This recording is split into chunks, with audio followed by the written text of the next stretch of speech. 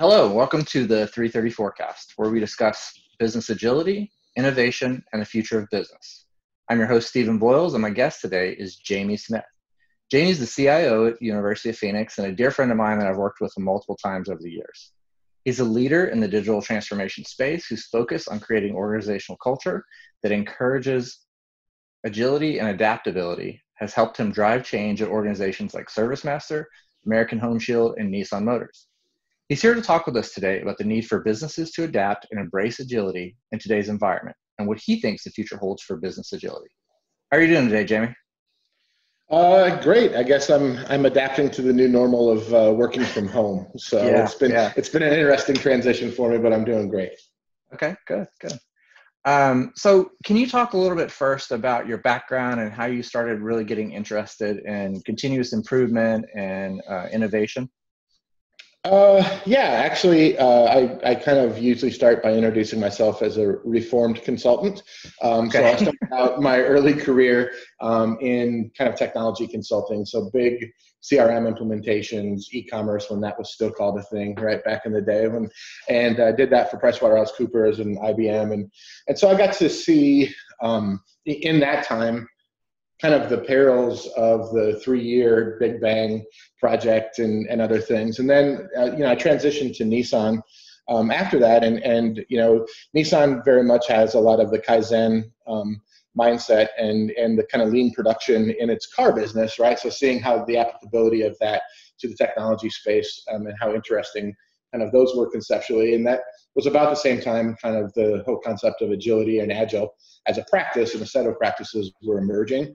Um, and you know, kind of transitioning to ServiceMaster, uh, got the ability to start small um, with kind of a, an agile transformation and and then scale that up to kind of basically all of the technology supporting products uh, across all of the businesses uh, for ServiceMaster, um, and seeing how different you know it was.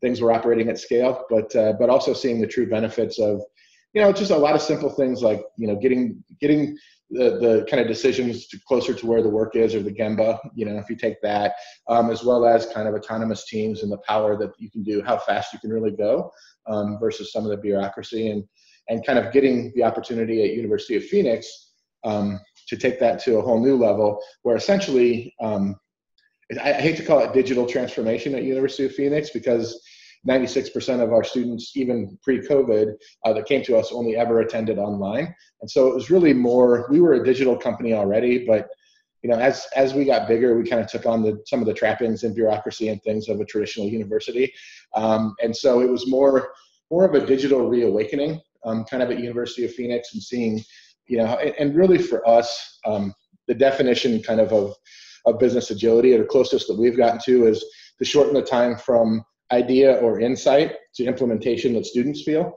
right? So to shrink that as much as possible and, and to be able to do those experiments at a very very high frequency um, uh, with with some amount of control. So um, so there's a lot more to unpack in that but that's the closest we've kind of figured out. But that's really the intent is um, to get these great digital experiences in front of our students as quickly as we can. Okay that's really cool um, so talk a little bit about, so you mentioned, you know, Nissan Motors and uh, I know you've got the background on lean manufacturing and I know, you know, there's been this shift from, uh, you know, a lot of things that agile software development started doing, we borrowed from lean and then it was a, a big software development movement uh, in, in terms of agility. And then we started getting really good at creating agile software development teams and now we figured out you know there's this term business agility that we've all been using for the past couple of years where we figured out it's some of the parts of the rest of the business um, that need some work as well and so i know we've borrowed a lot from lean there too can you talk mm-hmm. a little bit about since you've seen you know from a, a lean manufacturing perspective and also at service master at university of phoenix looking at the technology side what are some of the aspects that you think um, people who are looking to create agile organizations can borrow from practices like lean? Yeah i mean I, I, think it's a common misconception that that kind of the agility mindset is really only valuable in, in you know as insofar as much as it involves technology or software or whatever. Um, i think to your point that's where agile and some of the practices have gained credibility, frankly, because it's so much better um, than than kind of the old ways of operating. Um, but taking that same kind of continuous improvement mindset, um, giving people that are in the Gemba day to day the tools that they need. And that's what Lean is great at is the tools, you know, the tools to kind of create them as problem solvers and then a feedback loop into which they can bring those ideas into life um, very, very quickly. Um, the concept of, of very rapid experiments with as light a touch as possible are, are super applicable to, you know, we have um, a lot of academic counselors that are primarily either on the phone or chat. We have, you know, enrollment advisors, we have financial aid counselors. So we have thousands of people that are on the phone and, and interacting digitally with students every single day. While that isn't like a software project, um, a lot of the same mindsets, things like Pareto analysis and creating a hypothesis and that continual improvement, they work just the same. And, and even some of the ceremonies. So having a simple, you know, five minute tier huddle or stand up um, with your team every day to think about what we're focusing on that day to, to improve is is super worthwhile regardless of whether it's software or not. So even some of the ceremonies with a light touch um, can can be very effective in a lean mindset. Okay, really cool. Uh, so you talked about, I mean, that was a great example of non-software development teams using some of these techniques. And I know when we talk about business agility, strategic agility uh, is mm-hmm. a big topic as well, and how leadership uses some of these techniques. And I, I know you've done some experimentation with that in your career, um, but it's been a while since we've talked about it. Where are you guys at with that at University of Phoenix? If you can talk about that. Yeah. So um, while we while we do have kind of a we, tr- we try to keep a 12 to 15 month vision of, of where we want to be strategically um, so things like, but trying to keep that as simple as possible, meaning like, yes, we understand that short burst learning is going to be important to our strategic future and, and whatever. Um, not to have a super long list of all the projects we're working on, frankly. Yeah. Um, but what but what we've implemented uh, is um, really kind of five times a year to align with our program increment. It just so happens to because it, it involves things outside of technology as well. We get together and have a portfolio steering meeting, and that portfolio steering discussion is really, hey are the things that we thought were important strategically last time we did this still the most important things, right? Are we funding them at the right level? So it's not like, hey, you got this budget and just go away 12 months later, you know, spend it all or, or do whatever. So we're continually kind of reevaluating what we're investing in based on the most relevant and nearest term data. So hopefully over, you know, since over the 10 weeks between the time that we have those, we've done enough experiments that we've learned something. Um, certainly in the case of, uh, you know, COVID and, and some of the things going on in our society, the world has changed also, right? So it wasn't just right. that we learned something, um, the world has changed. And so giving us that flexibility uh, is, is really, really important. Um, so I, I knew it was funny. We had a, we just had one of those and, uh, coming out of it, you know, a lot of the product managers came in with these roadmaps, and they were calling them roadmaps, which makes me bristle a little bit because I want to call them vision documents. And and so because um, like don't don't put anything you know in a quarter in a specific part of the quarter a year out from now. Like you just don't you just don't know, right? And so um, and I, I knew that we were making kind of progress as an executive team when Peter, who's the president of the university, said you know, guys, don't fall in love with your roadmaps. These are really vision documents, with, like unprompted by me. And I was like, yes, this is happening. I think the other thing that's been hard for us, but I think we're making a lot of progress on, um, and, it, and, it, came from another, we have an all university broadcast that we, we host with the executive team um, every couple of weeks. And, and uh, in that, actually, Peter celebrated the fact that we rolled out a new homepage on our website, which is kind of the front door of the university. Um, and it failed. It failed right away, right? But we did it in a, in a super fast way. We found it now, you know, a couple of iterations later, it's performing 40% better than the last one did. But the fact that we could celebrate the way that we got there, because in the past we would have done the whole website based on that thing that we thought was going to work. We would have gone away for nine months, rolled out this whole thing, right? And in a couple of weeks, we put this out there, put it in front of people, um, and it failed, but we learned from it. So getting getting um, kind of a, a an executive team comfortable with that and being able to truly celebrate that and not just give it lip service um, that that's a huge amount of progress as well. Yeah that's a beautiful thing. Uh, I, I love to hear that that's coming from the president and um, unprompted by you as you said. That's that's wonderful. Um, yeah and so you mentioned you know you know the whole covid-19 pandemic and um, you know people being kind of you know work from home both within your organization but then also i think in the educational space that's really affecting people there's a lot of people that are just talking about just taking a year off and things like that yeah. Um, and I know in the past, you know, even before any of this happened, you and I talked a little bit about this idea of stacked credentials and innovating the way higher education is done. Um, is there anything that you can share with us about what University of Phoenix is doing along those lines? Uh, sure. So, um, well, one, we just recently launched our first competency-based MBA. So that's designed to kind of get you through. If you come in with a with a bigger, you know, set of knowledge to get you through and only learn the things that you don't know, right? So it's it's really recognizing the fact that when you think about the ROI of an education, um, one of you know, of course, it's easy to focus on the cost of education, and we're doing everything we can to drive that down.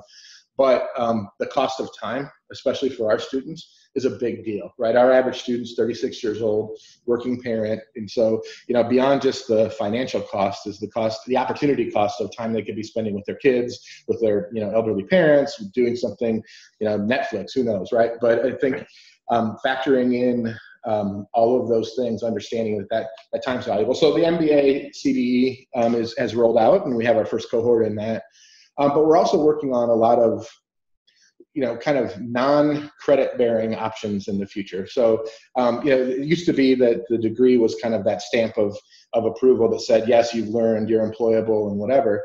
Um, it still is really important in today's world, but it's not the only thing that matters, right? And so um, we are working on ways to um, do things like launch an AWS Cloud Practitioner course um, that we're in the process of, where you get that certificate. It's not necessarily credit bearing, although we can articulate it as credits later. Um, but it is important, you know, for you to kind of get your next role. Um, and interestingly, in that space, we're actually taking kind of the approach where those things are those things can feel a little disruptive to the core business. When you think about the core business being degrees, um, and so we've we've kind of given them a little safe space to the side um, to to not let the, the, the white blood cells of the organization eat it, and that's how we're kind of experimenting our way through that. So we're not we're not putting it through our normal um, kind of portfolio management process. We're not burdening it with some of the, you know all of the corporate policies, and you know you can right. p-card some lightweight software if you need to, whatever. Like so, we're, we're trying to kind of create that safe space for innovation, um, not necessarily to be an ambidextrous organization or bimodal or whatever the fancy word is. It's just for some of these things that feel like they threaten the core. Um, you need to think differently and, and behave a little differently um, in, in, order to actually make that happen. Because we, we've been kind of struggling to get it off the ground for a while. But yeah, a lot, a lot to come in the certificate space, credentials. Um, you know, like credentials have to be recognized also. So us just getting like a University of Phoenix credential for something, if nobody has you know places value in that versus like an AWS stamp of approval or scaled agile framework or you know the things that you see posted on people's LinkedIn um, matter. And then I think the last part of that is deeply tying that to career outcomes, right? So meaning when you when you stack these few things together, what are you now qualified for that you weren't qualified for in the past? And that's kind of where it gets real because our, our you know unlike kind of traditional higher ed universities that, that focus on the 18 to 24 year old who's getting their first job, right? We're helping someone get their next job. And so it's really important to tie that deeply to kind of careers and, and the outcomes therein. Okay, that's fantastic. Um, so, you know, you kind of talked about this a little bit when you were talking about uh, the, the way that you're changing the credential process. Um, but I'm wondering, with the experience you have in multiple organizations, you know what are some of the biggest barriers you see to you know transforming to a more adaptable organization? Both you know in some of the stuff that you've talked about but also at the strategic and the business agility level. And then you know if you can share some strategies that you've seen work in those situations. Uh yeah i mean i think one I mean, the, the first the, the, first challenge you have often with these transformations is it's seen purely as a technology thing, right? So we kind of touched on that a little bit. It's yeah. like, yeah, I know that works for software development, but it's not going to work out in our contact center or in wherever, right? So, so really kind of getting the belief that um, they're, while not universal, not universally applicable, but I mean it, it does have kind of um, value in other parts of the organization. But I, I, also think the the other one that's probably the biggest sticking point is um, getting an executive team that's kind of lived their whole life and, and gotten to where they are, frankly, very being very successful in their careers by doing something very different than what we're asking them to do. And especially you know, asking the CFO to say, yes, um, I know that we have kind of an annual operating plan, but we have to be agile within these kind of five at least sections at a minimum and, and rethink we're not funding projects, we're funding products and how does that capacity change over time? Um, you know, that that's a big part of it. Um, and, you know, I think the other thing, uh, you know, mistake that we didn't make. Never name one of these things, right? So ne- never give it some sort of you know fancy program name or whatever, because then it just becomes a thing, right? And so right. and, and and really this is just a thing to get to a thing. Um, some some of the do's like we um, so we started out kind of very small.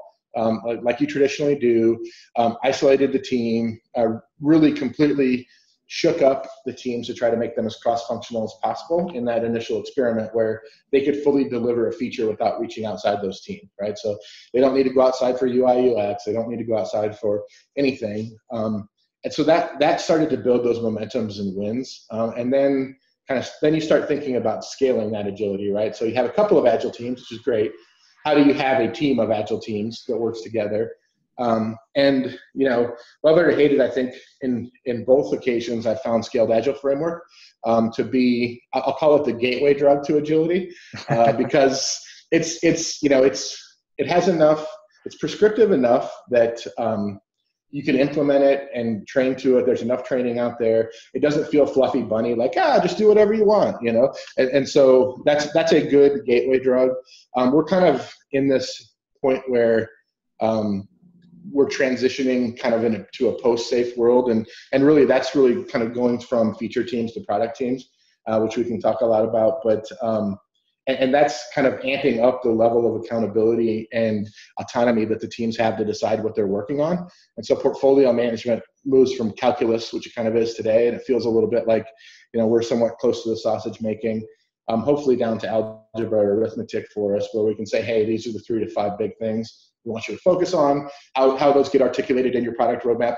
Um, you know, you guys work through it and, and decide and, and go. And so um, I think that's the true kind of level of, of that agility. And then also spreading out to other parts of the organization. So if you think about like curriculum development, it mm-hmm. behaves a lot like a software project, right? You don't know what's going to work. You have to test it. You have to think about single piece flow and all the things that you think about in lean um, in that space. So there are places where it's very kind of you can extend it very easily um, and get those concepts. And once people kind of get educated on it, I think um, it becomes kind of a grassroots thing, uh, right? And and especially when you know they feel that level of autonomy is is very motivating. So it's been that that that's kind of been the progression a little bit of that you know traditional starting small um, and I think you also have to dispel the rumor that you can't do big things in this mode either, yeah. right? So and and because things that become cross backlog or other things get they, they do get significantly more challenging, but they're easy. But guess what? They're significantly more challenging if you're doing them through waterfall or any other approach, right? Sure, big things are harder to do, and so the teams have gotten pretty good at understanding how to break them down and deliver value in chunks um, and you know, so I think it's just been a huge level of organizational learning that, that we've gone through. Um, we almost have kind of the opposite challenge now of, of, when I got here was we couldn't run enough experiments to, to prove things, you know, initially. We're just too slow. It took too long, whatever. Um, now it's kind of like we're running so many experiments. How do we control that? And how do we not have the experiments either cancel each other out or this cohort got touched by 75 experiments, so I don't know what happened. And so um, yeah, we're also working on developing kind of a more formalized experimental operating system, um, which not, not to stifle innovation, but just to really understand is the data that we're looking at good? Because we're making decisions off that data now. We want to make sure that it's it's at least statistically viable and and all of that. So it's that that part's been an interesting journey as well. Okay, that's very cool. Yeah, I like I like how you talked about um, you know SAFe as a gateway drug. I, I remember you know for a long time I used to tell people that you know, SAFe was the thing that I wish nobody needed, but I reluctantly admit that some people do, right? Because we had just gotten to this place where all the early adopters of agile practices were already doing it. Um, yeah. And so you needed to give people something that was familiar enough that they would be threatened and, and they would be willing to take a chance on it. Um, and so I, I, think that's, you know, kind of what you're talking about there. And, you know, so I can uh, uh, relate to that experience. But you also talked about how now you guys have kind of moved past that SAFe world you're in this post SAFe world uh, with product teams. So can you talk a little bit about what's driving you to do that and, and how is that working out? How are you doing that? So, um, so we're, we're just kind of at the beginning of that journey right now. So we have a couple of teams that are behaving that way. And I think, you know, to the, one of the great things about SAFe is you can see the output and teams can focus on output like did, what percentage of features did i deliver what percentage of business value um, it's a lot harder to get teams in that in that feature team mode to care about outcomes right? And really kind of bring their full brain with them every single day to say, what what should this be working like? What's best for the student? How you know? And, and so, um, and, you know, first of all, the one of the hardest things that I think any organization that's not organized as a product organization is going to go through is product management is a discipline, right? It's something that has to be taught. Yeah. Um, it is a, it is a, you know, and, and it's teachable. It's not, you know, it's not some sort of voodoo science, but you have to understand, you know, the, the way to prioritize features and user story mapping and, and really how to design a good hypothesis as well as be, you have to be able to manage up to stakeholders and manage down to the teams, right? It's, it's probably the hardest job in the company um, if we're doing yeah. things right. Um, and so kind of developing that talent base um, is, really really important but also you know the right tools and ceremonies. We're a big user of things like Fullstory um, where we get live feedback of the of what the users are experiencing because we can't go somewhere and see them using our platform right? We have to we have to infer that through. And so um, getting people to kind of develop those skill sets that's the hardest pivot. Um, and so we're kind of in in that mindset now. Um, and, and kind of thinking of the product manager as almost a mini ceo of their product and giving them that level of autonomy but also accountability right? And so right. understanding what levers are you trying to move from the from a business you know aspect and being able to project that because that's what basically gets you the investment in number of teams that are working on that product is you you're generating returns. We know that it's not diminishing. You have a you know clear vision. Um, you've, you've tested those things with various experiments so that the believability index is really high if you think about it. Um, and so um, that's that's hopefully where we're going to get to. And then i also think while it still will be important uh, to kind of re uh, look at our priorities every five weeks, I think the notion of continuous flow starts to then come in. So, you know, kind of one of the downsides of SAFE, when we do 10, 10 week program increments, is um, done wrong, it can be like a 10 week little mini waterfall right? Where you yeah. work on things and you deliver everything, the you know the sprint before the ip sprint or probably in the ip sprint, uh, you know, whatever, because it took ten weeks to build that thing, and and and so um, we, we've done better at avoiding that trap where we have a lot more that are kind of continually flowing into both the next increment as well as delivering earlier in the increment because they're smaller. Um, but it's a trap that's pretty easy to fall into. And so, um, you know, treating what was big room planning as more of a a quick alignment exercise and making sure that we're relooking at capacity and are we investing correctly and all of those things I think will be where we evolve to, but it's a little early to tell. Yeah, yeah. Okay, that's cool. Um, yeah. So you talked about being early in your journey, and I agree with you. You know, one of the big struggles we're seeing now, you know, in addition to the idea of strategic agility, is this idea that um, product management is a discipline. You can't just take a subject matter expert or yeah. somebody who's been a BA their entire careers and all of a sudden make them a product manager without any education, right? Um, yeah. So how are you guys approaching that? How are you? What are some? You know, if I'm a, a leader in another organization, I'm looking to make that switch to a product organization. Um, what are some strategies you think I should use for trying to take the talent that I have and build them into really good product managers? Um, so the, we're, we're leveraging some some outside help in curriculum, but one of the benefits we have as a university is we have some pretty solid curriculum development internally as well, right? So um, you know, while product management kind of generically is a teachable discipline and there are courses out there to do it, um, we're actually starting with educating the executive team. Um, so a big part of, and, and you know, the, there are HBR articles and other things out there, but a big part of true business agility is having an agile C-suite. Um, and, and having a C-suite that understands product management and why that's important and why it matters. And we're actually having a, a workshop on the 24th, kind of with the whole the whole day um, to kind of go through and set what that looks like. And uh, you know, part of you know, a, it, we're in an interesting time where um, things are so much better and we're getting more output than we did, but we're still like there's still a whole nother. So everybody feels pretty good about that, and they're kind of like, ah, this is okay. Like, what's what problem are we really trying to solve with this? Right. switch to product management, right? Because like it feels pretty good. Um, and so you know we're having to create a little bit of that urgency, and and you know part of the the COVID crisis has done that for us too, because innovation is going to kind of ramp up at this point, and, and uh, especially in higher ed, which has been a little sleepy. Um, but yeah, I, I think uh, you know it's not just it's not, taking someone that was a project manager. It's not taking someone that just ran a department, right? You have to find um, a little bit of the right kind of raw material for that, um, and then pair them with kind of the the deep level of training, functional knowledge, all the things that they can develop, as well as like teach them the ceremony. Like, yes, yes, we're going to do game film every two weeks in FullStory where we get together and look at the experiences and feel like if we went, like, there are specific University of Phoenix techniques and ceremonies we need to teach them as well. I think eventually that's going to evolve into kind of a continuous um, superhero boot camp type thing that we're going to do, where you know it's it's going to be part of it. We'll hire for will and kind of train to skill a little bit too. But yeah, no, like I said, it's the hardest job I think in and you know you have to be able to understand data analysis and all like deep user empathy like all these things that you know it's it's it's not easy. And so we will have kind of junior pms as well that stack to kind of some of the more senior product management.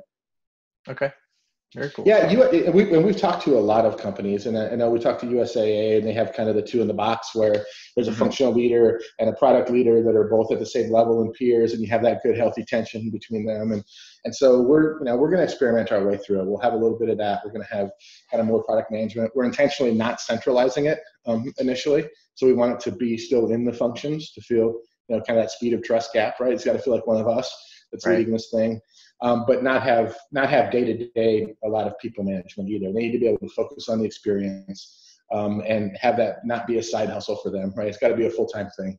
Right. Right. Okay. I couldn't agree more. Yeah, it's got to be something people are dedicated to, and I like the idea of. Um, you know, making sure that it's it's coming from that department, right? They're owning the change within, um, and then just yeah. giving them the support they need to get there. So that's that's a really effective strategy. Um, so I know you know both in that space and you know and, and, lots of other places that we've talked about you're always kind of at the forefront of what's happening. And so you know i'm wondering if you can tell some people you know tell some of our listeners um, where are some places that you get inspiration and what are you reading right now things like that? And I know you're famous for your reading list that you like to hand out. Um, so share with us what's on there right now uh, so I actually uh, just got back from uh, a few days away in California, and so I got to burn through. You know, nothing like a six-hour drive through the desert to be able to burn through a few Audible books. Um, now, so um, what, what, probably the most interesting and exciting two two books that not, not necessarily read but I've used are uh, there's a book called The Invincible Company, um, and it's it follows on to testing business ideas. So those two books are the outgrowth of what was Business Model Canvas, Value Proposition Design. These are the next two in the series. Um, but Invincible Company is really about kind of creating that that learning loop and, and having that be having having the innovation in that loop actually be what powers your company. Not any specific idea not any specific innovation but developing that as a core competence um, which for me is really exciting because a lot of traditional universities um, don't have 41 agile teams that are all working together and can swarm around really important strategic things, right? So we have some right. some things that we've built that will enable that, um, and it, it's getting close to that experimental operating system.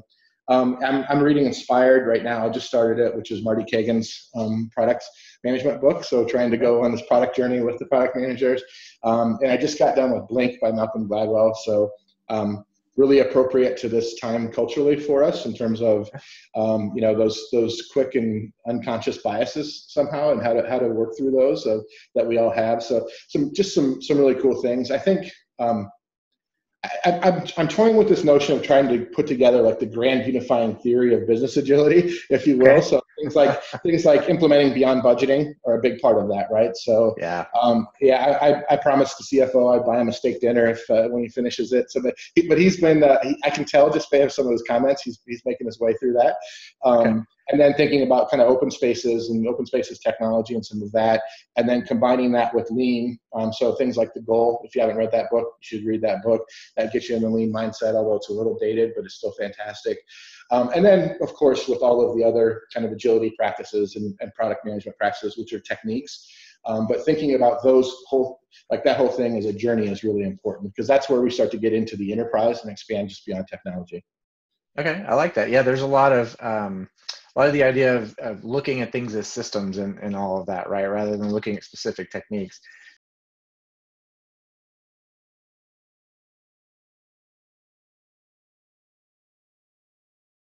Do you have anything else you want to share with us or um, any advice you want to give to leaders out there that are kind of embarking on the same journey that you've been on?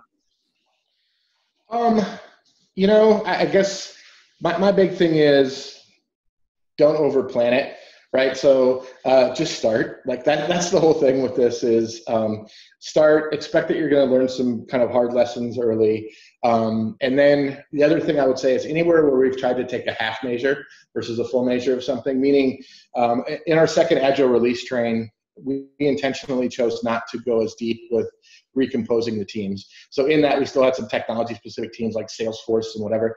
Um, it is you know we're, we're going to go through and redo that versus the first ART where we you know we had we had basically that seal team that could go out and complete the mission without ever mm-hmm. calling back to uh, back to base. And so um, anywhere where we've maybe not gone all in uh, it, has been challenging for us. And uh, you know i say all in it's all in on safe to fail experiments.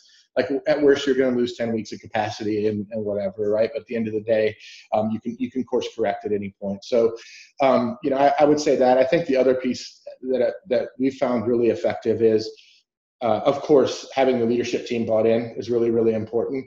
But i think more importantly is having kind of the grassroots buy-in and then it kind of meets in the middle right? And so, yeah. so sometimes that the uh, i think it was the term was middle management permafrost. It, it's you know it's it's hard for especially that group that have been historically managers to rethink what their role in the world is as servant leaders. Um, yeah. And so we it's dramatically changed our organization. We've flattened our org. Um, we don't have managers anymore. We have what we call agile people leaders that have really wide spans of control, um, but they're not engaged in deciding what people work on day to day. Their sole role is to coach uh, and work with the teams to get feedback and performance manage the individual as well as then you know the, the agile coaches are performance managing or helping the teams perform better, not performance managing them. So, you know, I think it's not just one tactic. Um, and then the last word of caution is um, you know, the cargo cult agile. So it's it's easy to fall in love with um, all of our ceremonies and all of the new terminology and all the cool stuff, right? But um, that's not what brings the rain, right? The, the techniques are yeah. a part of it, but it's it's actually focusing on the outcomes versus that. It's, it's too easy to get kind of caught up in all the trappings sometimes um, from that side. So just if you can, that's the one anti-pattern I always say to avoid. Yeah, thank you for that. I'm I'm glad to hear um, you know somebody like you say that. I think one of the one of the problems that we run into is uh, you know people that are trying to facilitate help organizations facilitate these uh, transformations is this idea of like this checkbox agile transformation where it's yeah. like well i hire these roles and i start doing these practices and then we're done um, when it's really more about mindset and culture right it is, yeah, and, and or or you also get like, well, no, we've been doing agile for a while. Yeah, okay, you're mm-hmm. doing agile, but are you agile, right? And so, right. and so, I, I think there's um, a difference between scaling agility and kind of enterprise agility. Those are two very different things. Um, one might be a gateway to the other, right? Getting a team of teams to, to work together and, and still, you know, kind of deliver and, and maintain that. But I think the other piece is, and where the real transformation is going to come is that next part. And there aren't. It's kind of we're on that we're in that place in the maps where it's like here be dragons. Like there there just aren't you know there aren't a lot of examples of, of large organizations that have done this successfully. Right. Um, at, at least to where you can pattern after it, right? So the only way through it is just to experiment through it. Um, the other thing, just to brag, brag on my team just a little bit. So um, it's really good timing that we're having this conversation because last week um, we actually moved our last workload out of our data center. So we're closing down a 27,000 square foot data center, um, all delivered through with uh, with Scaled Agile and, and our Agile team of teams. Um, and you know, in that we've dramatically reduced our cost base, but also freed up a significant amount of capacity to work on new things, right? And so we have over 70 people that are starting a coding boot camp um, that have been engineers their whole life, but thinking about maybe more traditional infrastructure or whatever. Um, okay. And we're taking them through five week boot camp. So think about, you know, if you could add at no cost 70 engineers to your team to deliver these digital experiences, um, you know, that's what we've been able to do kind of throughout this process. And so, you know, don't don't believe them when they say big, complicated, hairy things can't get done in this mode because they yeah. absolutely can. That's awesome. Congratulations. That's a huge accomplishment. I know you guys have, you know, that that was one of your um, you know, big objectives when you uh, started there and you guys have been working on that for a while. So that's amazing. Uh, congratulations. Yeah, well, and just to set a little context, the uh, I think the year I got here, our electric bill for the data center was two million dollars. So you know, you think about like that, that's just one of the cost savings that we don't have to spend that now we get to spend on students' experiences, which is uh, that's that's the real outcome and, and kind of minimizing complexity. So yeah, the team the team is pretty has done an amazing job on that stuff. Congratulations, that's awesome. Yeah. Um, all right. Well, I think that's uh, going to wrap it up for us today. So I just want to say thank you for uh, being willing to come on the show and share some of your experience. I know a lot of people are out there looking to do some of the same things that you've already done, and this is going to be great inspiration for them. So thank you. Great. Well, thanks for having me. All right. See you, Jamie. All right. See you.